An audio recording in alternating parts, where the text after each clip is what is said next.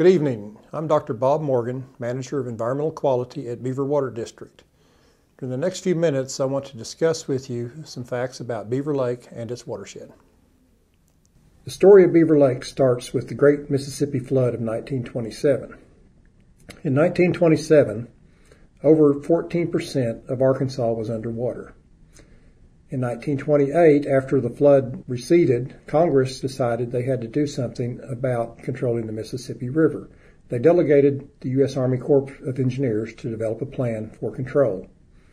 In 1929, the Corps began a study of the White River Basin. The Flood Control Act of 1938 authorized construction of six dams in the White River Basin at the discretion of the Corps of Engineers. $25 million were authorized for the construction. Purposes of those dams was to be flood control and hydroelectric power generation.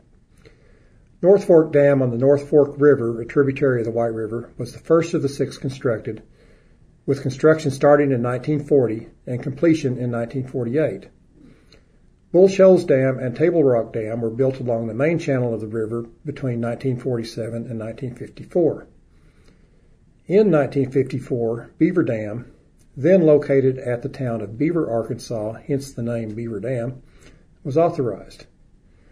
But Corps of Engineers rules require that projects have a benefit to cost ratio of one or greater, meaning that the benefits of the project have to outweigh the costs of the project.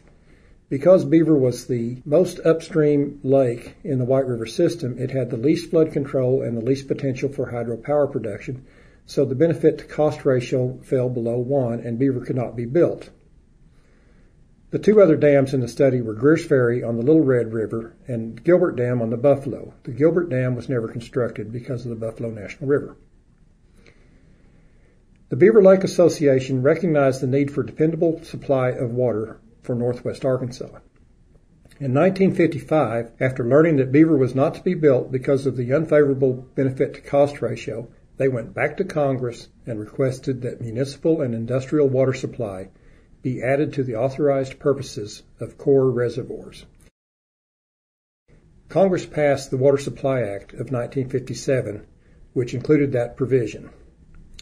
The association agreed to purchase storage space in the reservoir sufficient to provide 120 million gallons a day of potable water to counties in northwest Arkansas. That purchase gave Beaver a favorable benefit to cost ratio and the project proceeded. Beaver Water District was then formed by the Circuit Court of Washington County to make the purchase of the storage space in the reservoir and to provide water to Benton and Washington counties.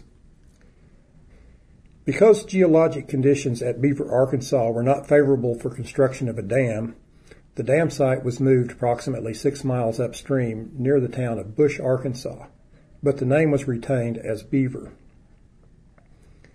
Construction of the dam began in 1959 and was complete in May of 1965. The dam is a concrete and earthen gravity dam. It is constructed across the White River just west of the city of Eureka Springs, Arkansas. The project also includes a powerhouse with two 56 megawatt generators. Production of power began in 1965. The lake first filled to the top of the conservation pool, that's at ele- elevation 1120, in June of 1966. Water started flowing to the city of Springdale from Beaver Water District in 1968. When Beaver Lake is filled to the brim, elevation 1130 above mean sea level, its surface covers 31,710 acres. The volume of the lake is 1,957,000 acre foot. Each acre foot of water is equivalent to an area of one acre flooded to a depth of one foot. From the dam west of Eureka Springs, Beaver extends upstream along the Old River Channel approximately 65 miles to near the town of Goshen, Arkansas. Use of Beaver Lake includes hydroelectric power production, flood control, water supply, and recreation. Each year, the Southwest Power Administration markets approximately 172 gigawatt hours of electricity that's enough electrical power to keep over one and a half million fluorescent light bulbs lit continuously. The power is sold to regional electric utilities. Recreationalists spend an estimated 2.4 million days on beaver annually. Their activities include boating, fishing, water skiing, sailing, swimming, picnicking, hiking, and sightseeing. These recreationalists add roughly $21 million annually to the regional economy. Like most large southern reservoirs, Beaver Lake stratifies each summer. As the water warms in the spring, it becomes less dense and rises to the surface. Cold water sinks to the bottom.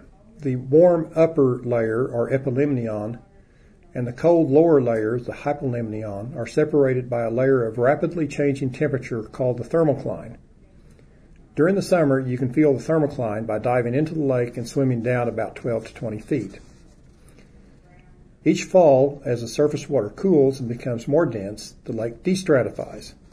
The thermocline disappears and the epilimnion and hypolimnion mix together. Unlike northern lakes, Beaver does not freeze and restratify in the winter. Hence, there is only one turnover annually. There is also a gradient of water quality along the length of the reservoir. Water near the dam is much clearer and cleaner than water in the headwaters where the rivers enter the lake. The gradient can be seen in the annual Secchi Day results. During Secchi Day, dozens of volunteer scientists measure water clarity with a Secchi disc throughout the lake. Near the dam, visibility is from 15 to 25 feet. Near the river inlets, it is normally only 2 to 3 feet. Other pollutants follow the same pattern generally. Beaver Lake is the only source of water large enough to provide for northwest Arkansas's drinking water needs. Beaver Water District and three other utilities, the Benton and Washington County Regional Water Authority, the Carroll Boone Regional Water District, and the Madison County Rural Water District all take water from Beaver Lake and sell it to customers from Westville, Oklahoma to Harrison, Arkansas. In all, over 350,000 people drink water that came from Beaver Lake. That is roughly one in every eight Arkansans. Let's pause the PowerPoint for just a moment now to let you and the group discuss the following question. What would Northwest Arkansas be like had Beaver Lake not been built? Pause the video now while you conduct your activity.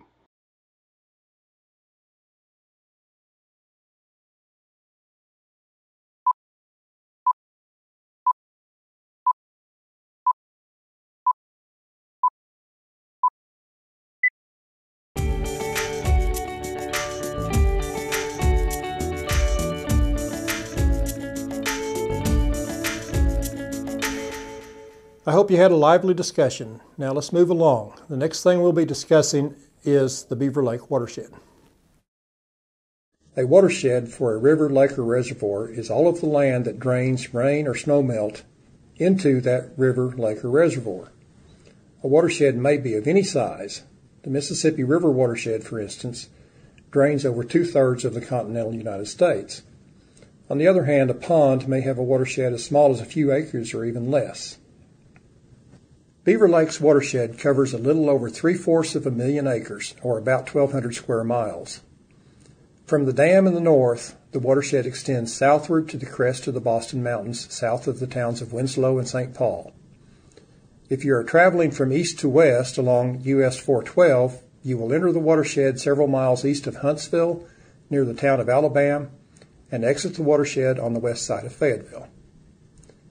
The area is divided between the Boston Mountains to the south and the Springfield Plateau to the north. Terrain is hilly to mountainous, soils are generally thin. Much of the geology is referred to as karst. That means it is underlain with limestone and there are numerous streams, springs, creeks, and even sinkholes. The main tributaries of Beaver Lake are the west and middle forks of the White River, White River, Richland Creek, Brush Creek, and War Eagle Creek. The watershed covers parts of five counties and 14 municipalities. Fayetteville, Springdale, and Rogers are the largest cities in the watershed. However, they fall mostly to the west of the watershed divide. Eureka Springs is the closest city to the watershed, but it falls entirely outside of the watershed, even though it is the nearest to the dam.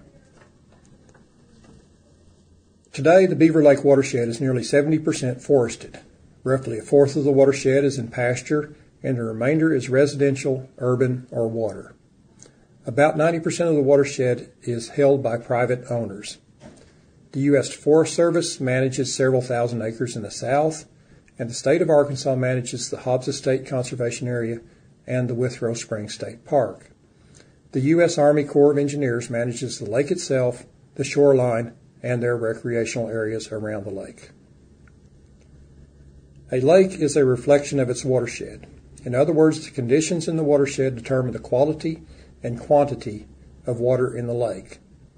In the Ozarks, a healthy watershed will have intact streamside or lakeside zones, a low percentage of impervious cover such as parking lots, rooftops, roads, etc., accessible floodplains, stable stream channels, and diverse biota.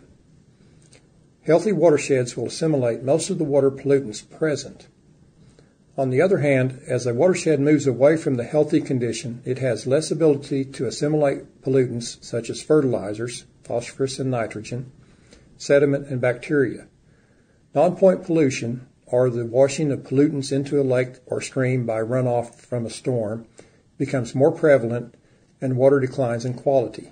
In addition, point sources of pollution or direct discharges of waste into a water body may further reduce water quality.